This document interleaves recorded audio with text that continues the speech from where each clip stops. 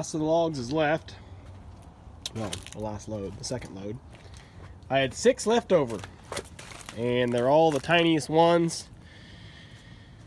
So I think that one says it's uh, oh, what's that say? 16? I can't even 13 maybe. I think it was a 13. I think I marked 11 and they made it a 13. Anyway, 10, 12, 11. Little. That one there says it's an 18. No, that's the 8X. The one on the far right, that's the 8X. Even this one, 11. I should have marked that one like 6X, okay? Because you see the big twist in it. That's not an 11 inch log, that's chunk. And the 8 is the same way. You can see it twists and curves around. But anyway, all the biggest, best stuff got shipped out. Two loads.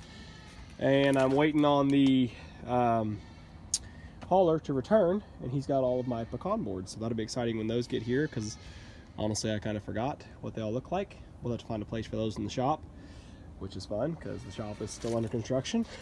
but we'll figure it out. We always do. So anyway, I had them all scattered out here throughout the day, kind of sorting.